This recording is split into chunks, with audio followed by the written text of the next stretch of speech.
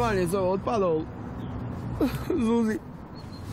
Ešte šikmači jej dávali žrať a hladkali ju. Všetci ju milovali. Núďte ma k spolupráci násilím a ja sa budem na toto sťažovať. Pokojne môžete.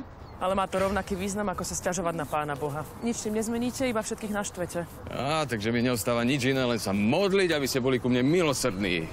Polícia naša každodenná, ktorá si na nebesiach, posvedca meno tvoje a dajte mi už konečne svetý pokoj. To nemusíte, stačí, keď budete robiť svoju prácu a budete ticho. Solnička, slniečko! Aké sladké prekvapenie to skrývate pod tou hnusnou kombinézou? Nechcem vedieť, čo si predstavujete. Ja vám to kľudne poviem a možno aj ukážem. Nechcem rušiť vašu romantickú chvíľku v zátiši s mŕtvolou, ale máme nejakých svetkov? V tom čase tu nikto nebol. Vraj boli všetci v práci alebo vo vnútri. Tam ten prečo nemá puta? Ty by si tiež všetkým dávala puta, nikoho nezabil. Naopak, tento mu zabil psa. Takto.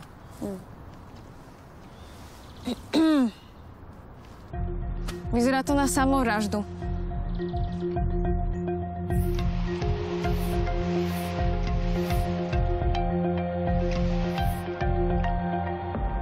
Áno, policajná logika je mocná čarodejka, ale fyzikálne zákony nezmení.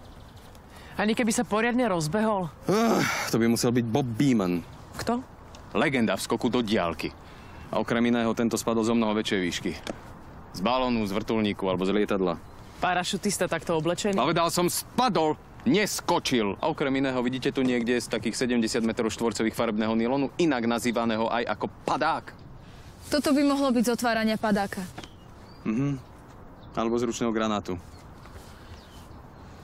Vieme ho identifikovať? Uh, vo vreckách nič nemal, podľa tváre to nepôjde.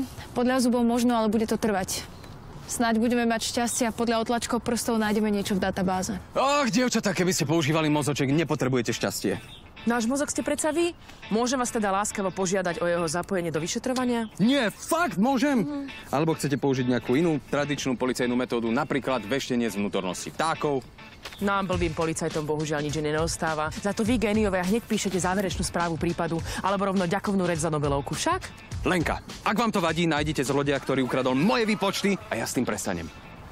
Pane, bol to skvelý pes. Lepšieho nenájdete.